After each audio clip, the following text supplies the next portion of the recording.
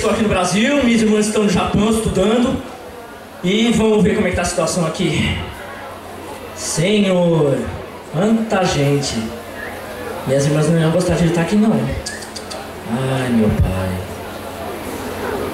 A escola tá difícil. Estou fazendo intercâmbio no Japão. Do Japão aqui.